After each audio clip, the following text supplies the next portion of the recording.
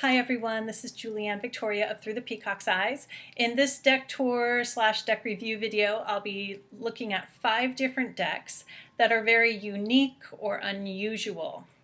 Now these decks, mostly I just use for personal study or just to add to my collection, um, but they are very interesting if you wanted to work with them. They'd be great for intuition development, so working with intuitively reading cards, whether that's Tarot or Oracle, but these are Tarot cards. Um, working with archetypes, studying archetypes, or working with your own archetypes, and doing shadow work or deep inner transformational work. So these are not all of them, but they can be intense cards, some of these. Um, now, these aren't the best decks if you're new to Tarot, you're a beginner, unless you're already a psychic in some way and you've been working with symbolism and archetypal energy and so on. Um, but if you're an advanced tarot reader and you want some challenging cards or something really different to work with, these would be interesting ones to get. Okay, so trying to decide which one I want to start with. Oh, one of them, I will have to switch the camera around and be filming on the table or on the desk um, because it wouldn't work if I was holding it up and you'll understand why when I get to that, but I'll do that one last. Okay, so let's start with the Dreams of Gaia Tarot. And I had this one on my little shopping list for like two years, and I finally got it. And I am actually blown away by this deck. It is much more than I was thinking it was going to be. It was on my list because I love the artwork. Um, and as many of you probably know, you know, I, I, I like different decks because it's kind of like an art collection for me as well as like personal study. Um, so I was drawn to the artwork of this, but the deck itself is so much more. So I've broken it up um, into the suits and the major arcana here. Now, the major arcana of the Dreams of Gaia Tarot can itself be separated out and used as an oracle deck. And I say that because all the cards have been renamed. Um, and it's just beautiful. I mean, they've been renamed, and the major arcana, especially of the Dreams of Gaia, can be used as an archetype study aid. Okay, so here we have number 14, which would be temperance. It's called destiny. Zero, the fool. In this deck, it's called choice.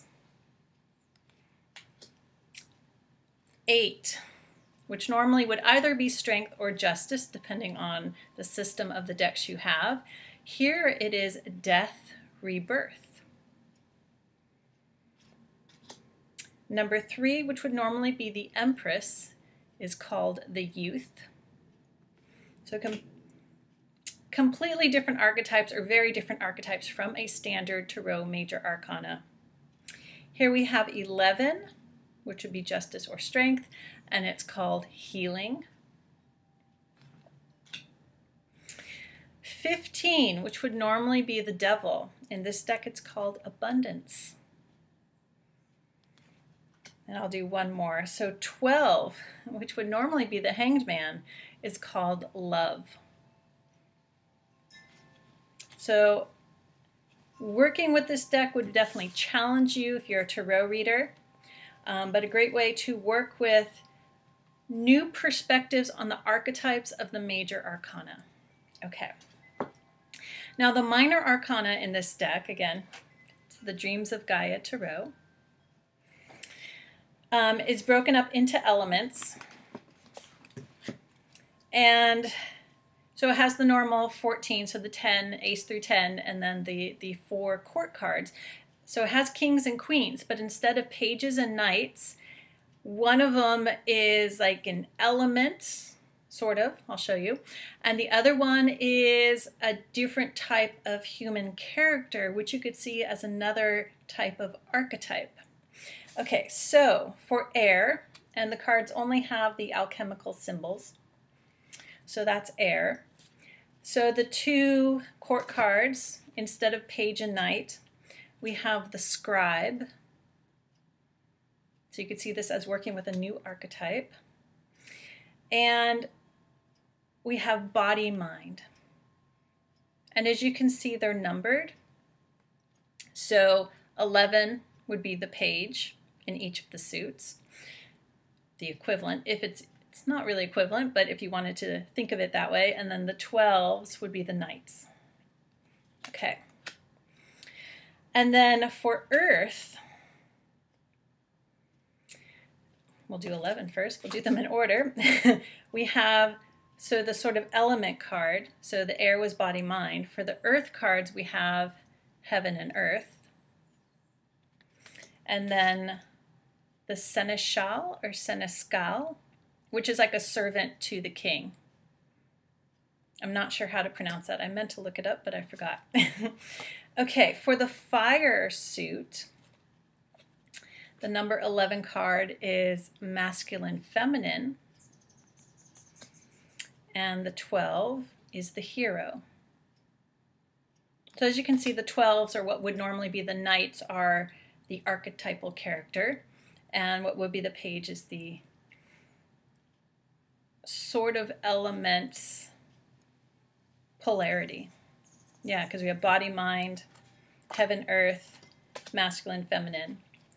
Now for water, we have emotion, intellect. And the number 12 is the counselor. Okay. Now the rest of the minors, I'll just show you a few here since we're in water. So the three of water, the seven of water,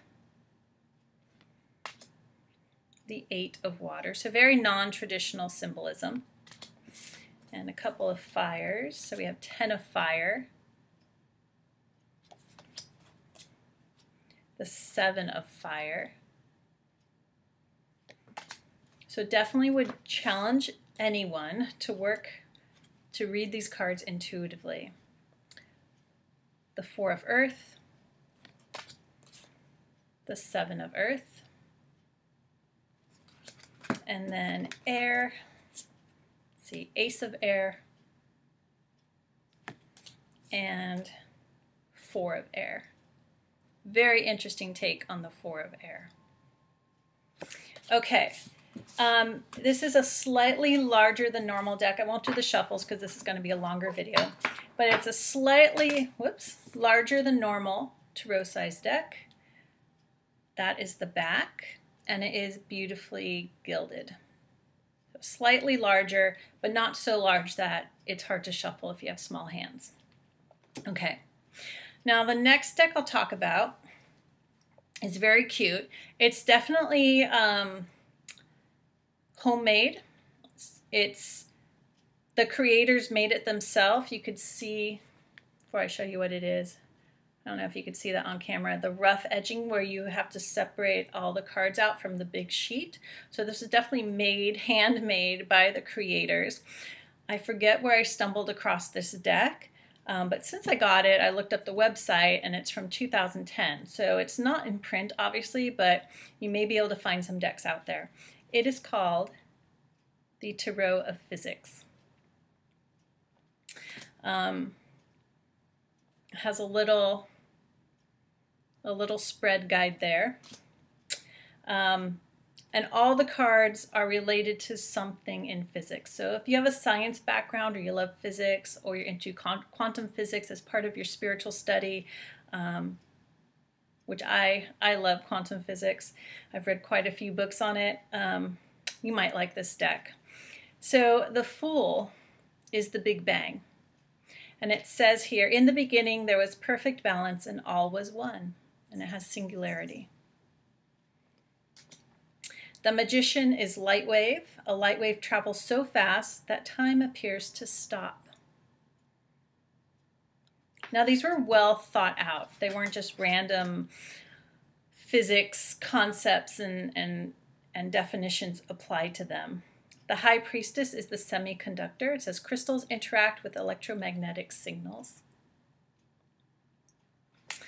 And let's do a couple more. Strength is leverage. A lever multiplies the force applied to an object. So I just love this deck, but that's kind of the nerdy, geeky part of me. Um, Justice is double helix. the Hanged Man suspension, of course.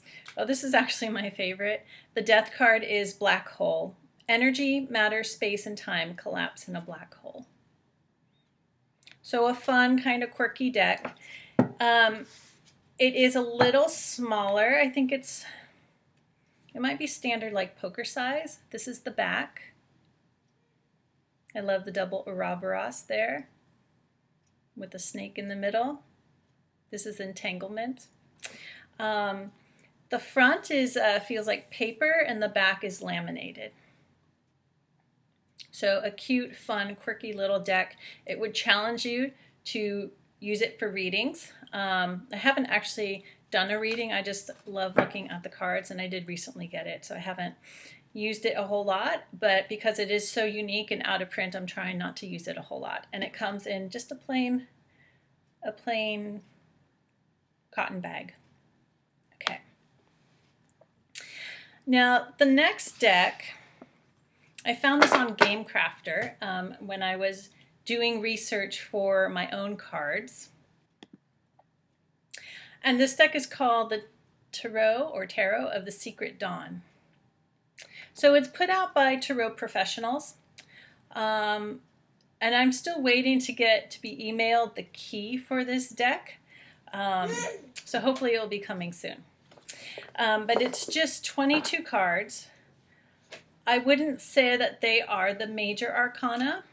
I just thought it sounded really interesting and I would add it to my collection. But I'll show you a few of the cards. They are large. They're extra large. But it's only 22, so it's very thin. Um, just to compare, so the Tarot of Physics is like a normal poker size. And this is the Tarot of the Secret Dawn. Okay, so I'll just show you some of the cards. It's all, it's just symbols. So definitely a card to really use to tap into intuition, also to learn symbolism.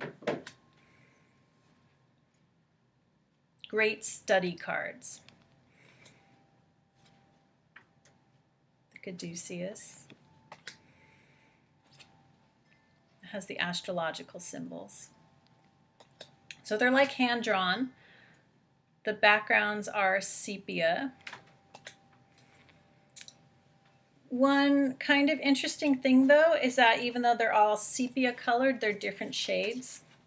So I'm not sure why the inconsistency. There doesn't seem to be a system to it. Um, might just been with the the uploading of the images. But they are very interesting. Again, great study cards that can be used for personal study, inner work.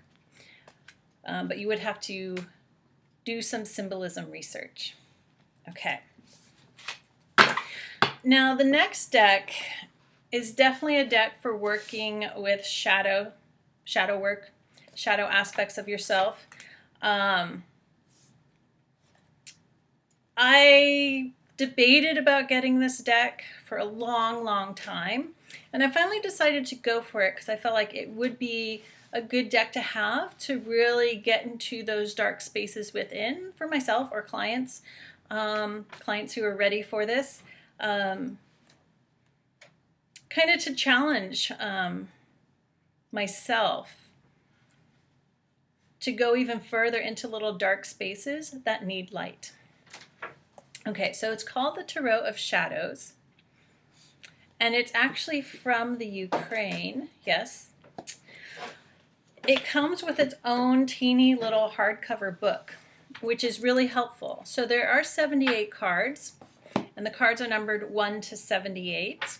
So the first uh, 22 are the major arcana, and then it moves into the minor arcana. But the minor arcana are not separated out by suit, and I'll show you some of the cards in a sec.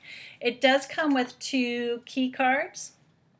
So it has, you know, the wands, how well you can see that, like wands, and then cups. So 2C is for two of cups.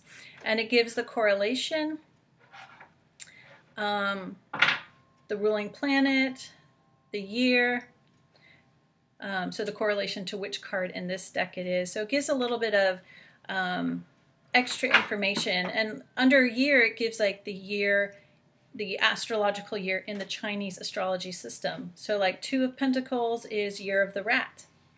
Um, Two of Pentacles in Western astrology is the first decanate or the first decan of Capricorn, which is ruled by Jupiter, not Capricorn, the first decade.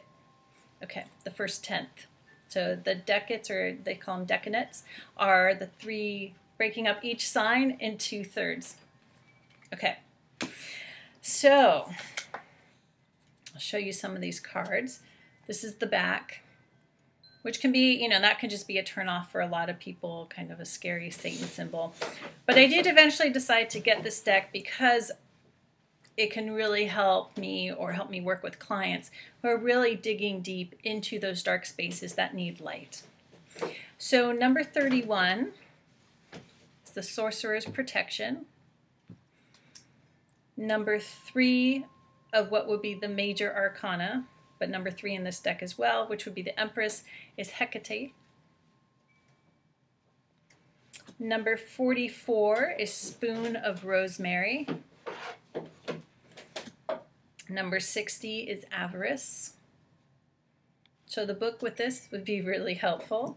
Number 67 is Orpheus. So Greek mythology. So it draws upon a lot of different mythologies. Um, it's not solely Christian based, as you can see. Um, number 76 is Mars's cruelty. Number 46 is parsley, basil, fern. So a little herbalism in here as well. 49 is two black candles. And number 17, which would be the star in a traditional deck, is the Star of Lucifer. So this would definitely be, in all respects, a very challenging deck, whether you wanted to read with it, whether you wanted to personally work with it, um, and even as a study.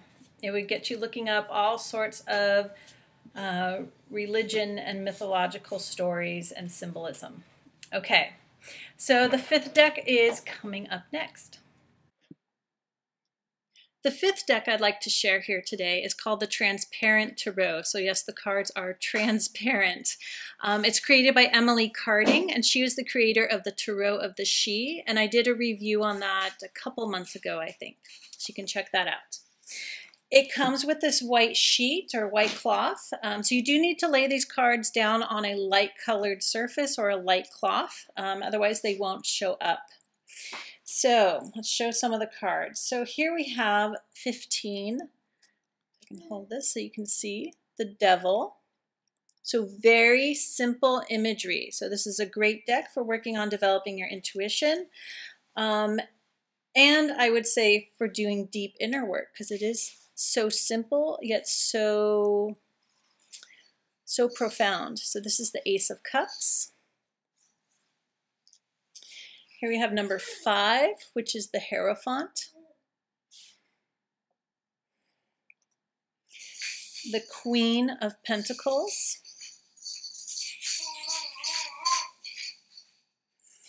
Twenty-one, the World.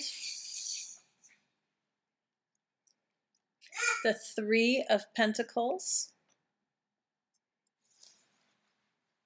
The Eight of Cups.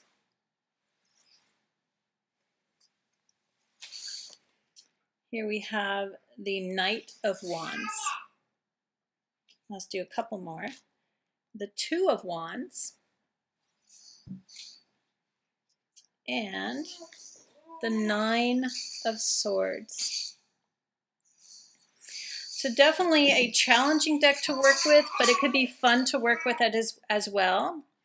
And you can, depending on your spread, overlay the cards and images depending on the spread you're working on, and see how the images interact with each other. So that is quite fascinating. Um, it, they are plastic cards, of course, fairly standard tarot size cards, maybe slightly larger.